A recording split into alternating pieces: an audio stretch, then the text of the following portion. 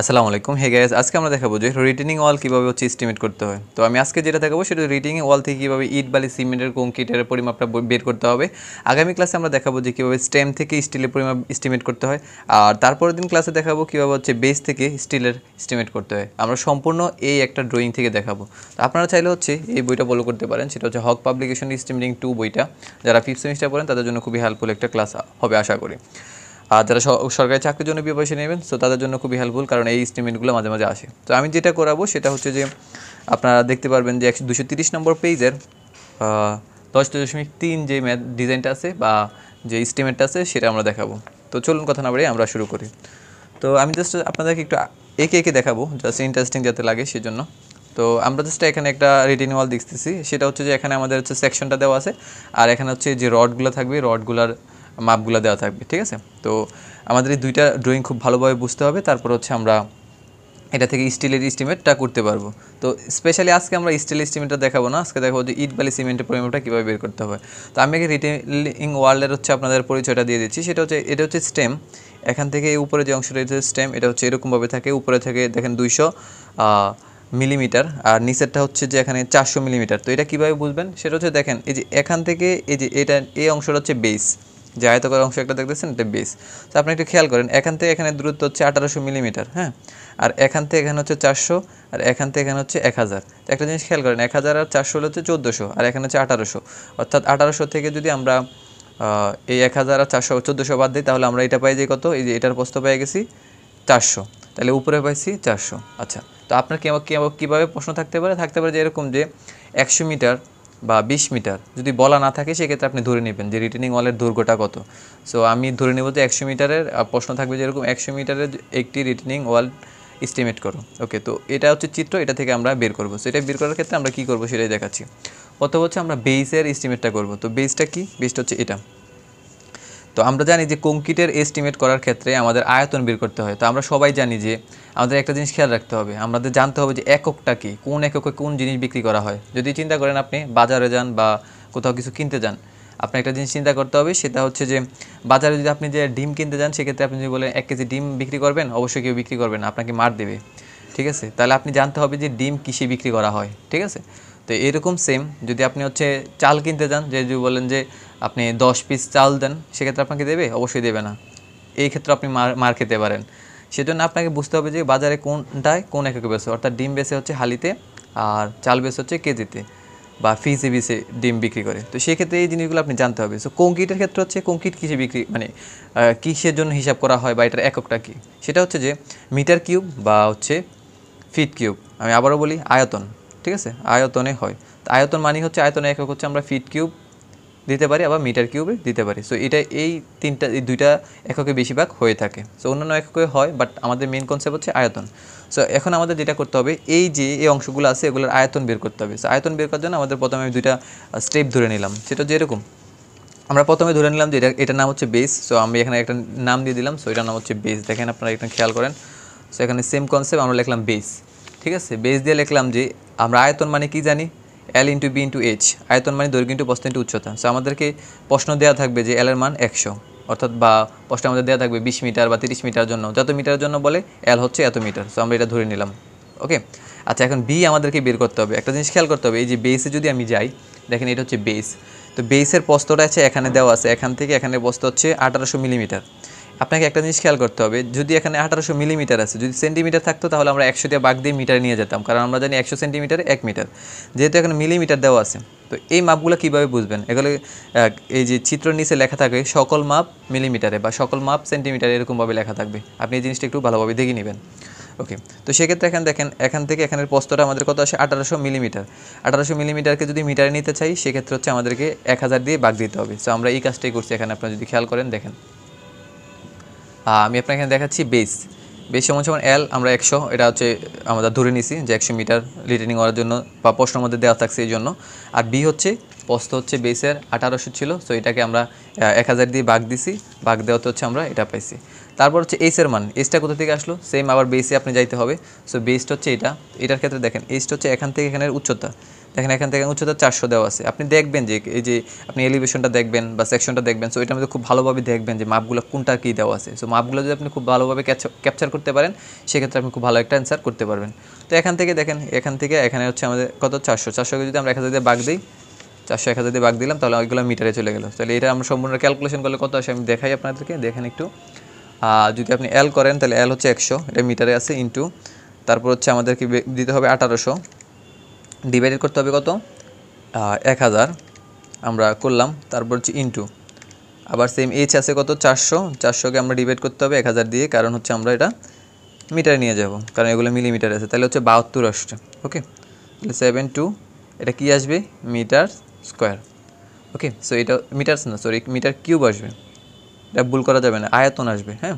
তারপর হচ্ছে আমরা নিচের হিসাব করব। তো নিচেরটা বলতে হচ্ছে এখন স্টেম আমরা বেস করছি, এই বেসের আয়তনটা বের করছি। এখন আমাদের আরেকটা আয়তন আছে, সেটা হচ্ছে যে এই যে উপরে যে ইয়াটা আছে স্টেম আছে। সো আমরা এখানে লিখব যে স্টেম আমরা লিখলাম দুই নম্বর দাব দিয়ে লিখলাম স্টেম আবার same L into B into H L আমরা একশোই দেবো, কারণ রিটিং ওয়ালের দৈর্ঘ্য আমাদের প্রশ্নতে দেওয়া আছে একশো, বা আমরা ধরে নিছি একশো, বা যেটাই করি, ঠিক আছে? এটা আমরা ধরে নিতে পারব। তারপর একশো। আর বি বি এর মানটা আমাদের বের করতে হবে। সো বি এর মানটা একটা ইন্টারেস্টিং বিষয় দেখেন। এই যে এই রিটিং ওয়াল এটা দেখেন, এখানে উপরে আছে দুইশো, আর নিচে হচ্ছে এখানে চারশো। সো এই মাপটা কখনো দেওয়া থাকবে, কখনো দেওয়া থাকবে না। যদি দেওয়া না থাকে, সেটা হলো আপনি কী করবেন? এখানে হচ্ছে আঠারোশো, এখান থেকে এখানে আঠারোশো। আঠারোশো থেকে এখানে এক হাজার চলে গেছে, আর এখানে চারশো চলে গেছে। চারশো আর এক হাজার হলে এখানে এক হাজার, আর এখানে চারশো, তাহলে চোদ্দোশো। এই আঠারোশো থেকে চোদ্দোশো বাদ দিলে এই প্যান্টটা আমরা চারশো পেয়ে যাই। তো এই মানটা যদি দেওয়া না থাকে, এভাবে বের করতে হয়। আর যদি দেওয়া থাকে, তাহলে তো ইজিলি বের করতে পারবেন, কোনো সমস্যা নাই। ওকে তো যেহেতু হচ্ছে আমরা এখান থেকে এখানে চারশো পাইছি আর উপরে পাইছি দুইশো, তার মানে পস্ত দুইটা হয়ে গেছে। তাহলে এটা কী করতে হবে? আমাকে লিখতে হবে চারশো প্লাস দুইশো, দুই দিয়ে ভাগ দিতে হবে। তো আমরা এটাই করছি। সবচেয়ে বেশি বিভ্রান্ত হয়। তো সেক্ষেত্রে আপনি যেটা করবেন, আপনাকে এটাকে গড় করে নিতে হবে। তো দুইশো প্লাস চারশো, আমরা দুই দিয়ে ভাগ দিলে আমাদের রেজাল্টটা যত আসে এত, তাহলে তিনশো আসলো। ঠিক আছে? এই তিনশো আসলো। সো আমাদের পস্ত আসলো কত? তিনশো। তো আমরা এখানে বসাই দেবো সরাসরি তিনশো থ্রি ডাবল জিরো এগুলো কাটা সব। তারপর আপনাকে যেটা করতে হবে সেটা হচ্ছে ডিভাইড করতে হবে এক হাজার দিয়ে। কেন করতে হবে? কারণ তিনশো ছিল এটা মিলিমিটারে সো আমাদেরকে নিতে হবে মিটারে। মিটারে নেওয়ার জন্য আমাদের মিলিমিটারকে মিটারে নেওয়ার জন্য এক হাজার দিয়ে বাঘ দিতে হয়। সো আমরা বাঘ দিয়েছি ওকে তারপর ইন্টুর ইন্টু এইচ এইচ কোথা থেকে আসলো? এইচ দেখেন। এই যে এখান থেকে এখানে ডিস্টেন্সটা কত? এই যে মাপটা এখানে দেওয়া আছে তিন হাজার ওকে তো আপনি তিন হাজার যে- যেহেতু উচ্চতা দেওয়া আছে, সেক্ষেত্রে আপনি তিন হাজার বসাই দিবেন। ইন ডিভাইডেড করতে হবে এক হাজার দিয়ে। কেন? এটা মিলিমিটারে ছিল আমাদের হচ্ছে এটাকে মিটারে নিয়ে যাব। সো এক হাজার দিয়ে বাঘ দিয়ে আমরা চলে আসলো এই সো আমরা যদি এটা ক্যালকুলেশন করি, তাহলে কত আসে দেখি? এক একশো ইন্টু এল এর মানটা হচ্ছে একশো, তারপর হচ্ছে যে তিনশো ডিভাইডেড ইন্টু তিনশো ডিভাইডেড এক হাজার। তারপর হচ্ছে ইন্টু যদি করি তাহলে তিন হাজার ডিভাইডেড হচ্ছে এক হাজার, তাহলে কত আসে? আমাদের আছে নব্বই ওকে সো এটা হচ্ছে আমাদের আয়তন আসে নব্বই মিটার কিউব। তো এখন এই দুইটাকে যদি যোগ করে দিই আমরা, দেখেন আপনারা খেয়াল করেন এখানে বাহাত্তর আছে, এখানে নব্বই আছে। দুই- দুইটাকে যোগ করলে কত আসে? আমি দেখেন ক্যালকুলেটার নব্বই প্লাস আমরা যদি দিই, নব্বই আমাদের দেওয়া আছে প্লাস বাহাত্তর। সাত দুই দিলে তাহলে কত আসে? একশো বাষট্টি। তাহলে এই দুইটা যোগ করার পর কত আসলো মোট? এই দুইটা যোগ করার পর একশো বাষট্টি আসলো। মিটার্স কিউব সো এটা হচ্ছে আমাদের আয়তন চলে আসলো। সো আয়তন আসার পর আমরা যেটা করব, একদম সিম্পল কাজ। এখন আর আমাদের কোনো কাজই নেই। সো আমরা লিখব যে মোট আয়তন, ঠিক আছে? এখানে লিখব মোট আয়তন আয়তন মানে বি তারা প্রকাশ করতে পারে সময় সময় লিখবেন। তাহলে দুইটা যোগ করে দেই, বাহাত্তর প্লাস হচ্ছে নব্বই। ক্যালকুলেশন করার পর হচ্ছে একশো বাষট্টি মিটার কিউব ওকে সো এটা আমাদের চলে আসলো। এখন আমাদের যেটা করতে হবে, সেটা হচ্ছে এই আয়তনটা আসছে। সো এখানে একটা আমরা সবাই জানি যে, যদি এটা আসছে কী আয়তন? বীজ আয়তন সো আমাদেরকে শুষ্ক আয়তনটা বের করতে হবে। শুষ্ক আয়তনের সূত্রটা কি আমরা জানি যে বের করার জন্য ক্যালকুলেশনটা কি? একদম সিম্পল সেটা হচ্ছে যে, শুষ্ক আয়তন যদি আপনি বের করেন, আপনি লিখবেন যে এখানে শুষ্ক আয়তন। আপনি এই পাশে যদি জায়গা হয়, আমি এখানে লিখে দেখাচ্ছি, আপনার নিচে লেখার চেষ্টা করবেন। শুষ্ক আয়তন মানে বি শুষ্ক আয়তন বের করার সূত্র হচ্ছে যে যেই আয়তনটা থাকবে, ঠিক আছে, ওইটার সাথে ওয়ান পয়েন্ট ফাইভ গুণ করা। অর্থাৎ এখানে আয়তন আছে একশো বাষট্টি ইন্টু ওয়ান পয়েন্ট ফাইভ আমরা গুণ করে দেবো, আর কিছুই না। এটা যদি গুণ করে দিই, তাহলে কত আসে? যদি ক্যালকুলেটর করি, সেক্ষেত্রে দেখেন একশো বাষট্টি আমাদের আছে এখানে। একশো বাষট্টি ইন্টু হচ্ছে আমরা কত দেবো? ওয়ান পয়েন্ট ফাইভ তাহলে দুইশো তেতাল্লিশ মিটার কিউব। সো এটা হচ্ছে মোট আয়তন আমাদের পেয়ে গেলাম। তো এখন আমাদের বলছে যে সিমেন্টের পরিমাপ বের করার জন্য আপনারা যেটা করবেন, সেটা হচ্ছে যে একটা দাগ দিবেন ডিভাইড করে দিবেন। আরেকটা জিনিস খেয়াল করতে হবে না, একটা ইন্টারেস্টিং বিষয় হচ্ছে আপনি আয়তন বের করবেন। অনুপাত। অনুপাতটা বের করবেন। সো অনুপাত, আমরা আয়তন বের করার শেষ অনুপাত। অনুপাতটা এরকম হবে অনুপাত। অর্থাৎ আমাদের যে কি কি অনুপাতে এটা হবে। সো এটা যদি প্রশ্নতে দেওয়া থাকে, ভালো। যদি দেওয়া না থাকে, সেক্ষেত্রে আপনি ধরে নেবেন যে এক, দুই, চার অনুপাত। ঠিক আছে? অনুপাতে এটা হয়েছে। সেটা ধরে নেবেন। তাহলে এটা যোগফল কত হবে? One plus two plus four. তাহলে কত আসে? সেভেন। ঠিক আছে? অনুপাতের যোগফল পাইছি কত? সেভেন। ওকে। আর কোনো কাজ করতে হবে না। আপনি যেটা করবেন, এখানে সেভেন বের করছেন, আপনি সেভেন নিচে বসাই দিবেন। আর এখান থেকে আপনি আয়তনটা পেয়েছেন কত? দুইশো তেতাল্লিশ। তেতাল্লিশ বয়স দিবেন। ইন্টু ওয়ান ওয়ান দিবেন কেন? যদি প্রশ্ন করি, সেটা হচ্ছে দেখেন, আমরা হচ্ছে এই যে এক ব্যাগ সিমেন্ট দিছি, এর জন্য ইন্টু ওয়ান আচ্ছা ইন্টু হচ্ছে তিরিশ। তারপর সমান সমান ব্যাগ।